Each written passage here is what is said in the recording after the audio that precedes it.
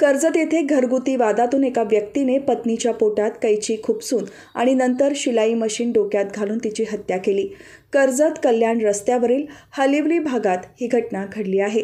पोलिसांनी आरोपीला ताब्यात घेतले आहे. कर्जत येथील हलिवली ग्रामपंचायत हद्दीत येत असलेल्या सिग्नेचर डिझायर संकुल या इमारतीत संजय रामजे भालेराव हा आपल्या पत्नी मुलांसोबत भाडेतत्वावर राहत होता.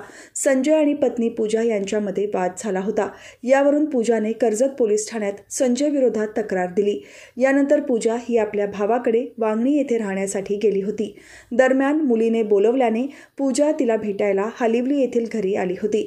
यावेळी पती संजयने मुलीला हॉलमध्ये बाहेर ठेवून पत्नीला बेडरूममध्ये कोंडून कपडे कापणाऱ्या कैचीने पत्नी पूजाच्या पोटात आणि पाठीवर चार ते पाच वार केले.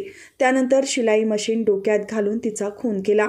यावेळी रक्ताच्या थारोळ्यात पडलेल्या पत्नीला पाहून पळ काढत असताना पतीसमोरच अचानक सासू उपस्थित झाल्याने संजयने त्यांना देखील धमकावत पळून जाण्याचा प्रयत्न केला.